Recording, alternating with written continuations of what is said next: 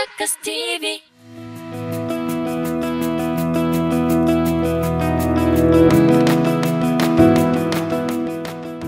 여러분 네 번째 운동은 바로 wide 스쿼트입니다. 스쿼트는 하체 운동 중에서도 가장 많은 에너지를 소비하는 운동이라 거의 유산소 운동과 마찬가지의 칼로리를 소모하며 즉 체지방 감소에도 큰 도움을 주는 운동인데요.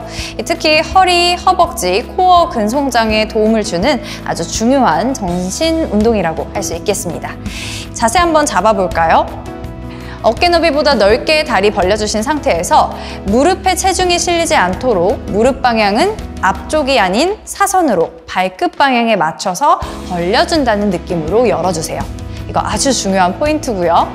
그리고 그 상태에서 엉덩이 먼저 뒤로 나가면서 체중을 엉덩이에 실어주는데요. 이때 허벅지로 버텨준다는 느낌으로 앉아줍니다. 무릎에 체중이 실리지 않게 하는 방법이에요. 그리고 어깨가 말리지 않게 가슴은 펴주시는데요. 과도하게 가슴을 활짝 열어서 등과 허리에 무리가 되지 않게 해주실게요. 상복부를 약간 둥글게 말아서 허리를 일직선으로 펴주신 상태로 유지하면서 내려갑니다. 무릎은 모이거나 벌어지지 않게 유지해 주시면서 일어나 주시면 바로 한 동작의 완성이 됩니다. 저와 함께 1분 동안 같이 해보실게요.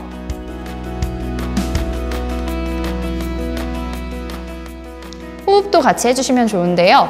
내려갈 때 숨 들이마셔 주시고요. 올라와서 내쉬어주시면 됩니다.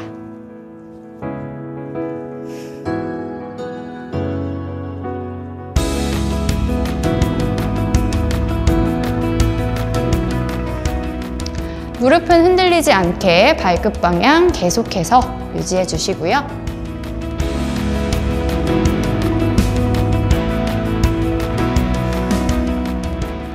허벅지 전체 그리고 엉덩이까지 긴장이 유지되도록 계속해서 반복해 줍니다.